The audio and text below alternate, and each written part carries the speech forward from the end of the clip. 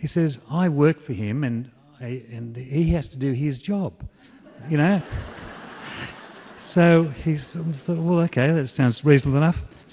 So he, to him, it was, it was no problem because he believed that God was there, that he would help him. He was in a dilemma and he expected it from him, and it happened. And so I was there right in the middle of this incredible story. I mean, I, I don't know how many lawyers there must be in Australia or New South Wales, but how coincidental. I get one bloke turning up one day, then the other one the next day, both in front of me, and this thing happens. But it made me think, you know, um, when you pray, does God listen to your prayers? Does He act in this way? Is He an interventionist God? You know, it's hard enough for people to believe that there's a God, let alone that He can step in and do things for you, and this is what seemed to be happening. So I thought, well, I'll have a look and try and study this scientifically. Is it coincidence, miracle? How do people explain miracles? Do they really happen? And if they really do happen, how can there be atheists around if this really happens? Why this divide? So I began researching the famous miracle of Fatima in, in Portugal in 1917, and to me that was an incredible story. It still is. It's, it's hard to believe that something so momentous could have happened with so many witnesses, obviously a sign from God. No one ever talks about it, and yet it had to do with finding peace on earth. I then began to read the lives of the saints, and um, then I realised that in the lives of the saints, the sort of thing that I'd experienced with this priest were almost commonplace. Read the story of the Cure of Ars, read the story of Padre Pio. In fact, Padre Pio became a very good um, subject for me, my reading, because I couldn't believe that there existed a person in 1968 who had such obvious signs that God was acting through him. Know, I'd never heard of the stigmata before, that it was a real event, a real thing. And also began to read some of the, the writings of mystics, like um, St. Catherine of Siena. And I thought, this is unusual. Why don't people ever talk about this? That the church actually recognizes that God can speak to a human being and impart to them information which for the good of humanity. This is after the time of the apostles. And the work that they receive in dictation from Jesus becomes part of the literature of the church and they get marked as doctors of the church. To me, that seemed uh, an in- incredible story, and I thought to myself, wouldn't it, be, wouldn't, it, wouldn't it have been nice to have actually lived at the time of Catherine Siena, to have been in the room when Jesus was speaking to her, that you could examine her, that you could, you know, form your own opinion rather than relying upon what's given to you historically.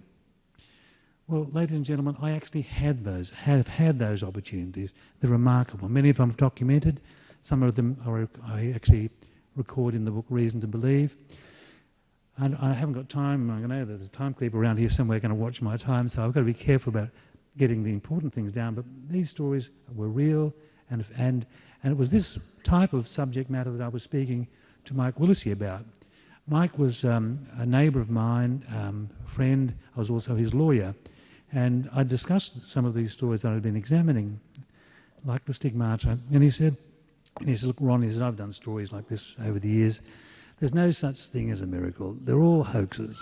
And I said, well, I said, you are a journalist who prides in the fact that you make pronouncements about what you believe based upon an examination of evidence. But here you're making a pronouncement of negativity about the story of the stigmata without looking at the evidence. How many other stories have you done like this? You know? And so I said, why don't you go and prove me wrong? So he was an ex Catholic, very hostile against the church. But he took up the challenge because um, he had in his essence that true journalism, which is to say, okay, this, a lot of consequences follow if this story is true. A lot of consequences follow if it's false. Either way, it's a great story. And so he took up the challenge and so, and when a friend of his in the Fox network, who actually grew up with him in early television, heard that he was going to uh, do a story on this claim that I had believed in, that there's a current person who was experiencing the stigmata, they said to Mark, Would you be prepared to film what you investigate? And he thought it was a great idea. So we then lined up a, a time to go and meet a person I'd been studying. And um, and she had had the experience of the stigmata a few times, and usually on a Friday. So we thought, well, let's go over there Good Friday, which is um, uh, you know, the time when Jesus died on the cross. Maybe if he's going to have the stigmata, it'll happen on that day.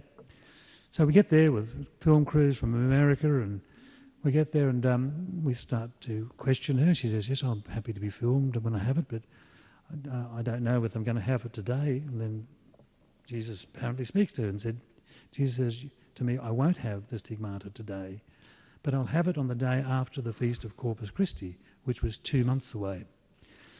That was very interesting. I know that uh, people might say, oh, why would, if God was talking, why would he send you all the way back to Australia and then make you come back again, all that cost? But it was a very interesting technique or ploy that was being used because what we were able to do is actually film the prediction of an event. If it happened, that would be an amazing historical fact that you could film someone predicting a supernatural event in advance. So we filmed the prediction.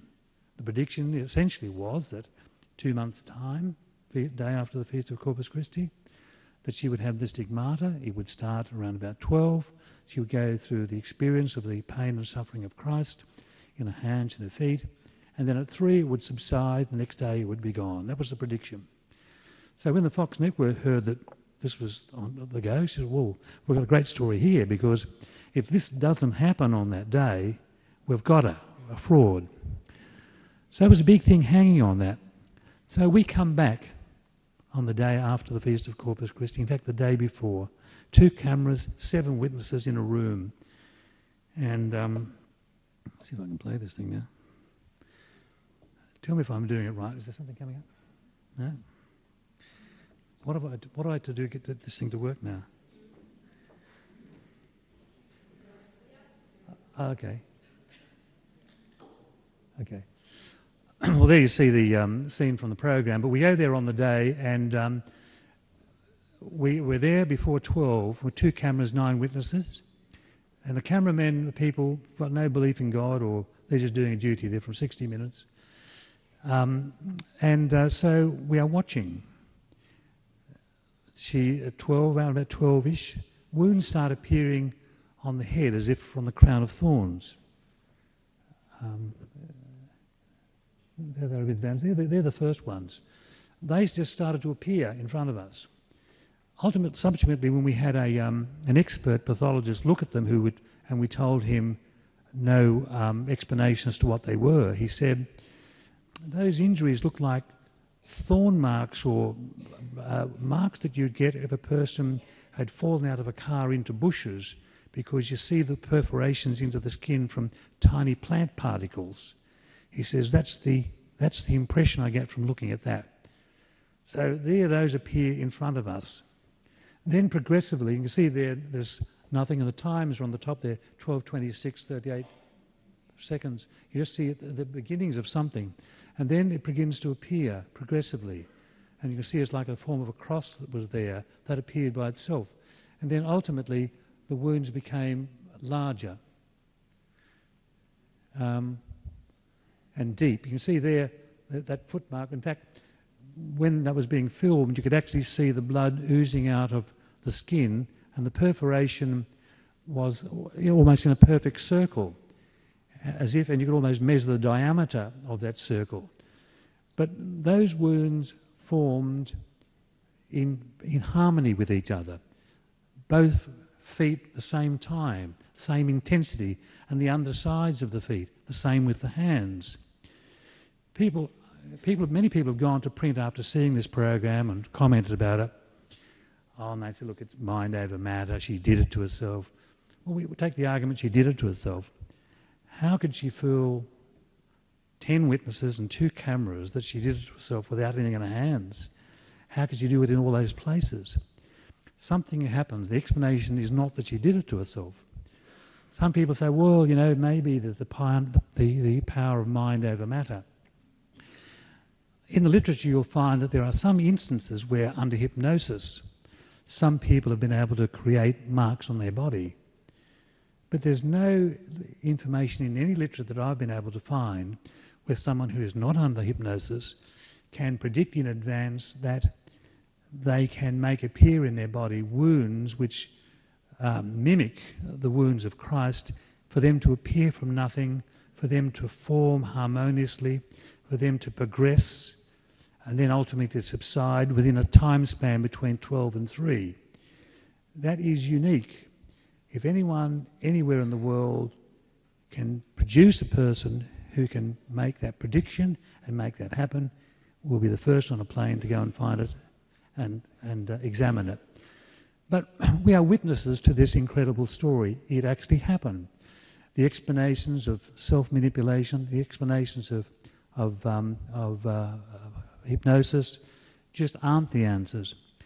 And yet, what we say 30, 40 million people have seen this film, not one critic has rung us up and said, Can we speak to any of the witnesses?